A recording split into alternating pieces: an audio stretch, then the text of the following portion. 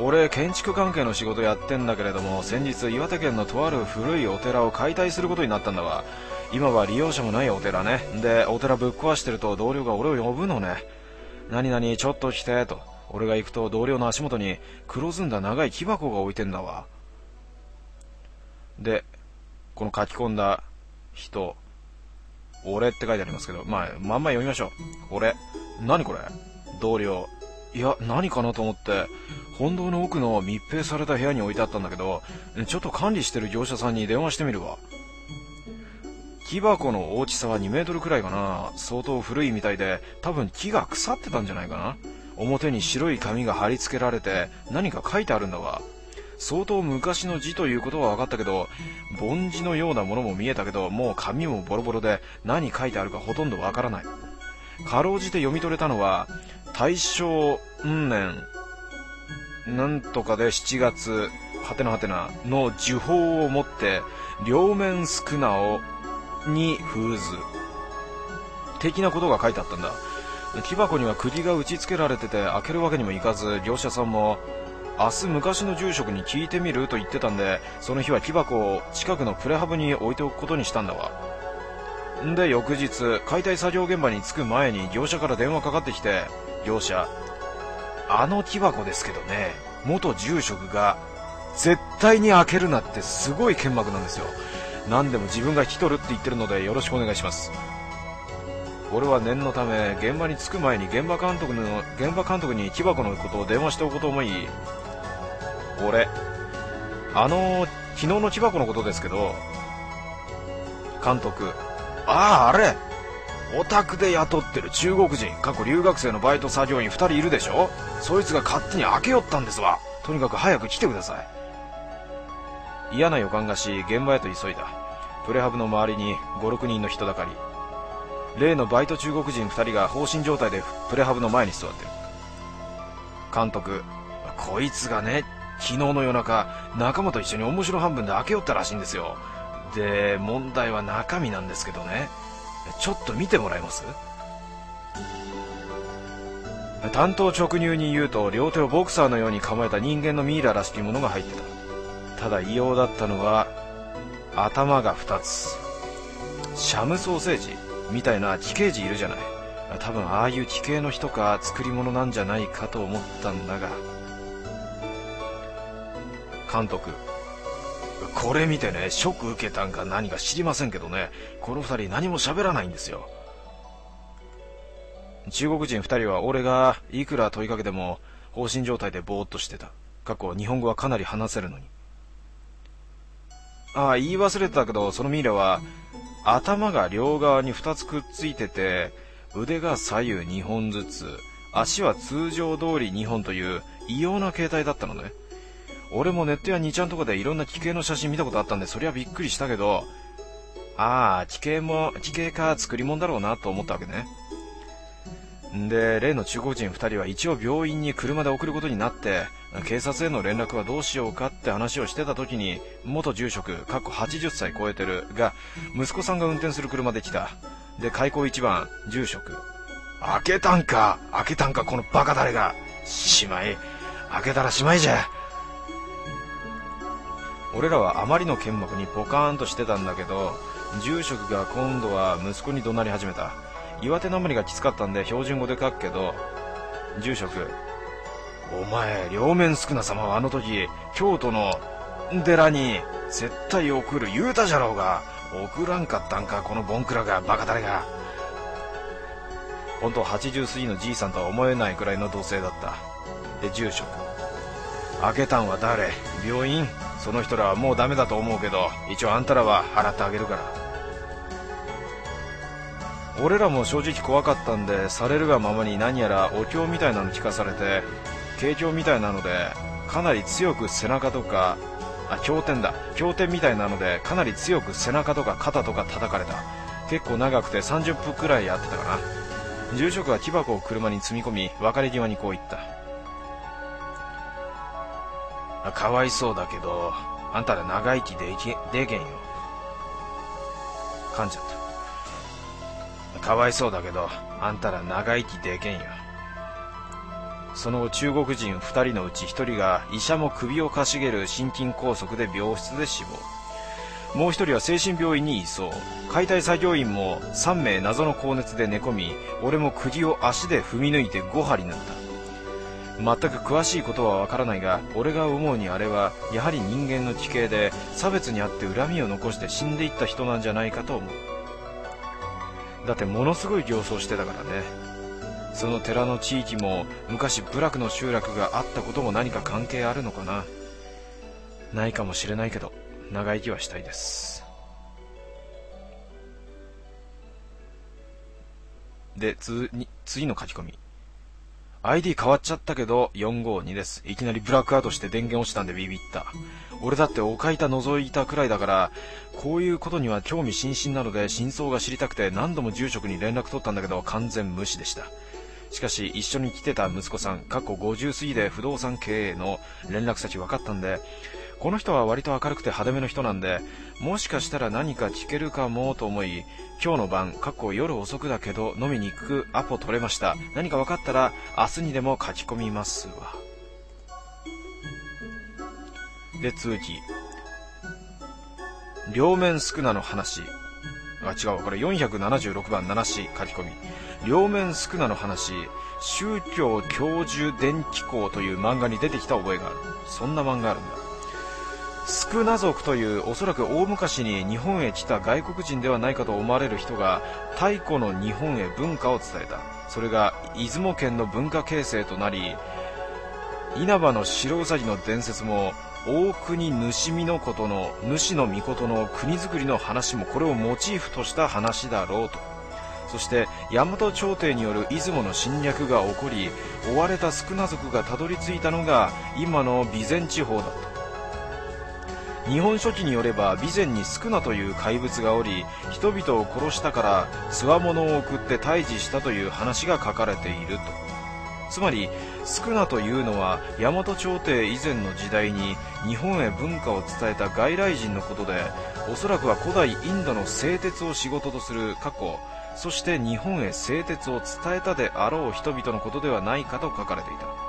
そして出雲のある場所で見つけた洞窟の奥にあったものが両面少なかっこ両両側の両に面両面の宿の、えー、次は文字が潰れてて読めない、えー、両面の宿のなんとかって書いて両面少なの像で像であったとあった。続き少な族は日本へ鏡の船で来たと書かれ鏡のように黒光りする船であったとのことラマ船と書いて鏡の船と読むラマはラマで、えー、黒のヒノキ系の木の名であると書かれていたけど黒ずんだ長い木箱とあったのでこれももしかするとラマなのかも。とすると両面宿儺様も逃げ延びて岩手地方に来た宿儺族の末裔なのかもしれないな。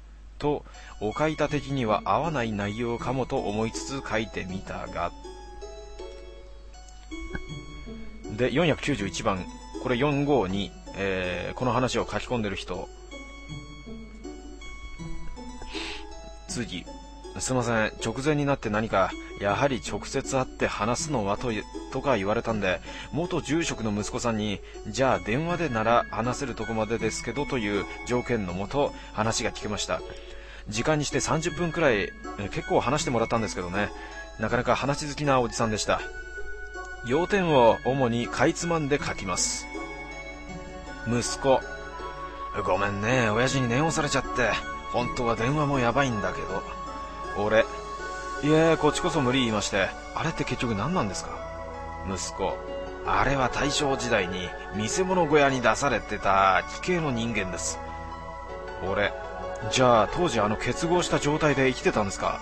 シャムソーセージみたいな息子そうです生まれて数年は岩手のとある部落で暮らしていたみたいだけど生活に窮した親が人買いに売っちゃったらしくてそれで見せ物小屋に流れたみたいですね。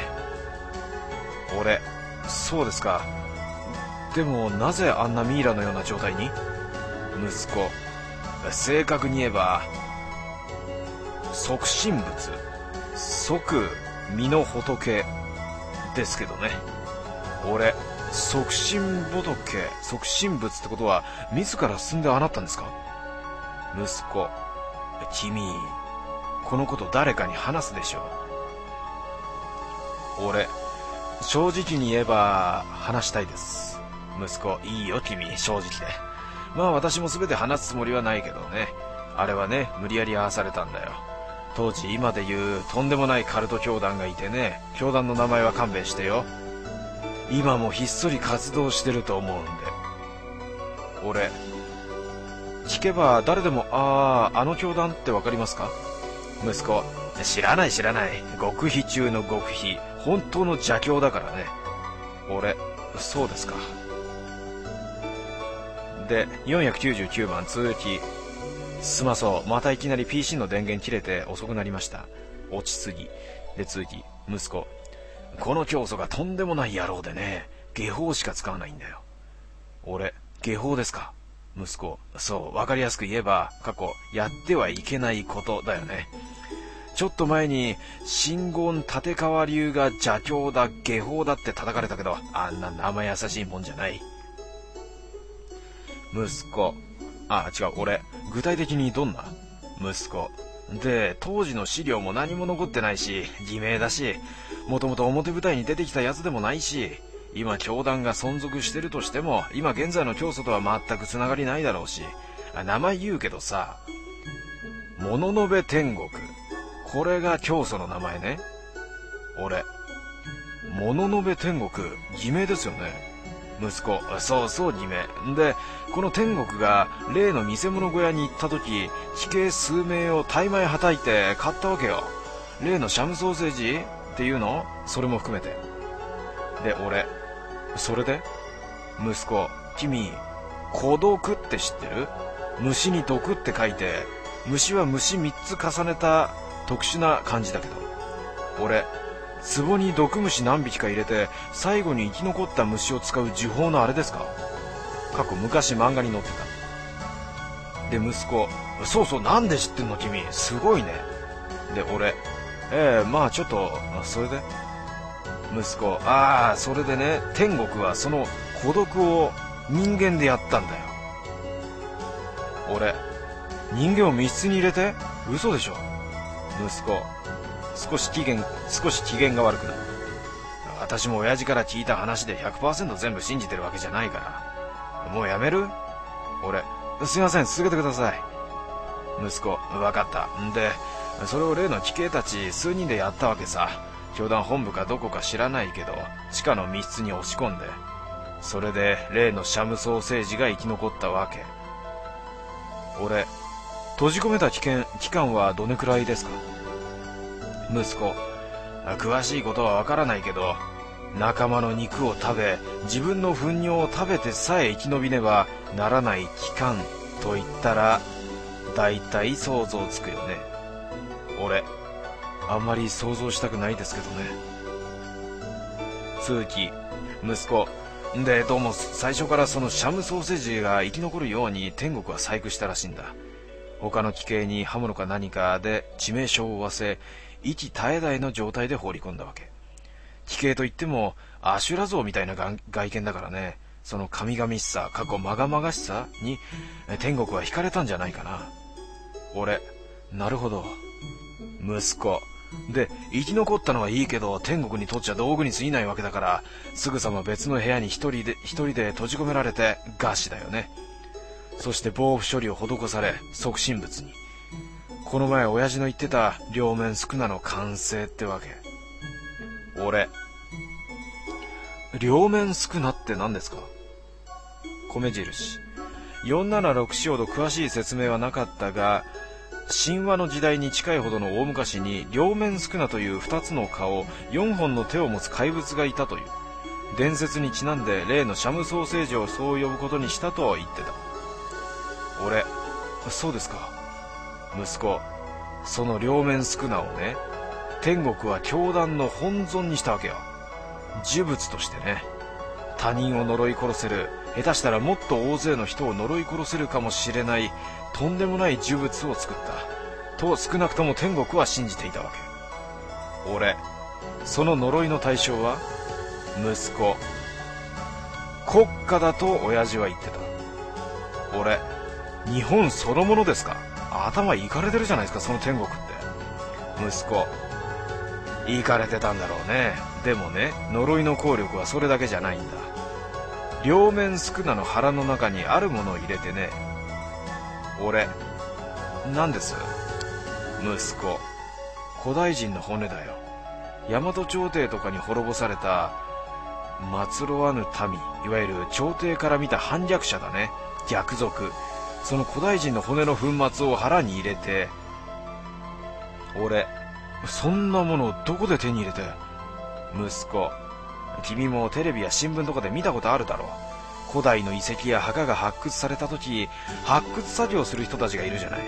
当時はその辺の警備とか甘かったらしいからね。そういうところから主に取ってきたらしいよ。続き。俺にわかには信じがたい話ですよね。